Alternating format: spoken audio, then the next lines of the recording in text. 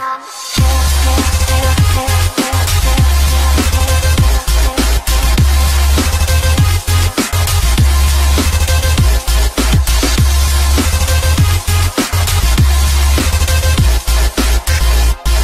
mais t'es Hey, pas salut tout le monde, c'est Lady, je suis en compagnie de Pitivier et Yoda. Hey, Hey, tout le monde, c'est Pitivier Donc on est là aujourd'hui parce que c'est vendredi, et le vendredi les copains c'est...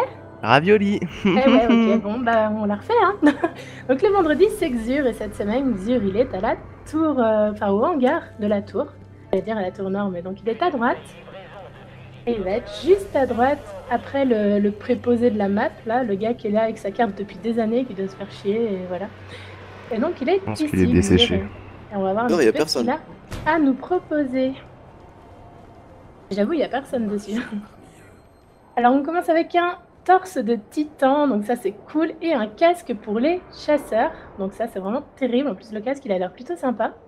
Vous avez aussi un casque pour les arcades, donc on est plutôt gâté côté équipement cette semaine. En plus ce casque là, je l'ai eu la semaine dernière et je peux vous assurer qu'il est magnifique. Et là, la bonne nouvelle, c'est qu'il y a un lance-roquette.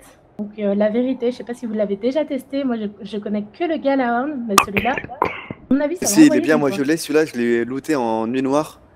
Et franchement, il est bien, il est pas mal.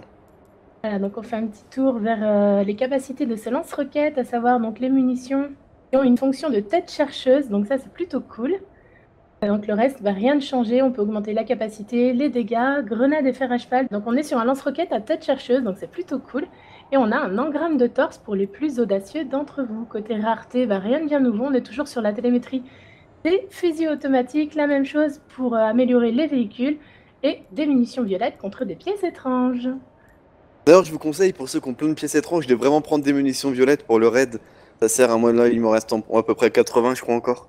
Ouais, je crois qu'une vraiment- pièce étrange, t'as 5 munitions violettes, un truc comme ça. C'est Ouais, ça, Faut vraiment se blinder, c'est tout le temps utile de toute façon, donc... euh. on sera Voilà, pas perdu. c'est tout pour, euh, pour cette petite vidéo de la semaine. On fera un petit détour par la coupe de cheveux de Maître Yoda, qui est vraiment magnifique.